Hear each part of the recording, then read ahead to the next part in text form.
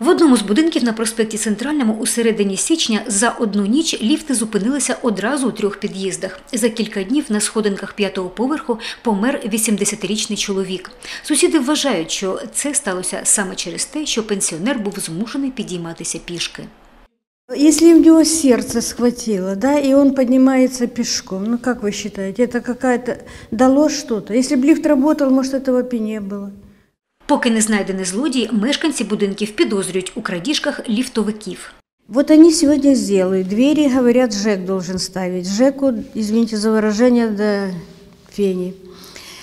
Завтра опять... Даже никто не знает, кто снял. Может быть, же их люди снимают. У місті працює два спеціалізовані підприємства: комунальний Миколаїв ліфт та приватний центр ліфт.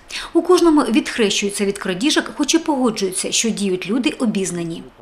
Я не думаю, что просто человек с улицы. Хотя бы, да, электрик или механик. И опять же, этот человек, когда ворует этот кабель, он не боится э, выйти на крышу лифта, который стоит ниже, закрыться в шахте. Э, то есть, я думаю, обычный человек может и побояться даже ступить в эту шахту и там воровать этот кабель. Но эти не боятся. Та поки злодіїв шукають, люди продовжують ходити пішки. Затримки із спуском ліфтів їм пояснюють відсутністю бюджетних коштів. На сегодняшний момент департамент жилищно-коммунального хозяйства еще не вошли в финансирование. Где-то с 15 февраля у них начнется финансирование на капитальный ремонт. У департаменті житлово-комунального господарства кажуть, на капітальні ремонти кошти передбачені, але підприємства можуть розпочинати ремонт власними ресурсами.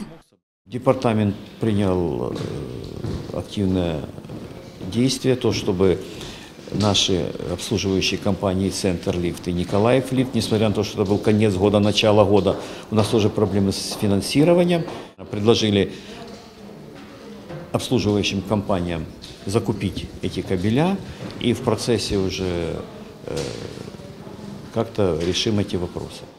Сейчас мы кабель уже закупили на эти 7 лифтов, он на складе уже центральному, по-моему, 16 первому подъезду должны, по-моему, сегодня приступить восстанавливать. Ну и постепенно, так я думаю, за недели полторы мы эти 7 лифтов запустим. Спеціалісти ліфтового господарства вважають, що крадіжки можна зупинити диспетчеризацією, підключивши кожен ліфт до пункту керування і контролю та з'єднавши єдиною системою. Мы два года людям пытались, руководству города объяснить, что надо ставить диспетчеризацию, диспетчеризировать лифты. Но на сегодняшний момент пока на стадии, проекты сделаны, пока на стадии финансирования. Пока финансов нет, не выделяют под нас. Миколаївські депутати вже прийняли міську програму диспетчеризації ліфтів. Втім, вона існує лише на папері, а у міськраді воліють витрачати мільйонні кошти на ремонти, ніж на профілактичні заходи.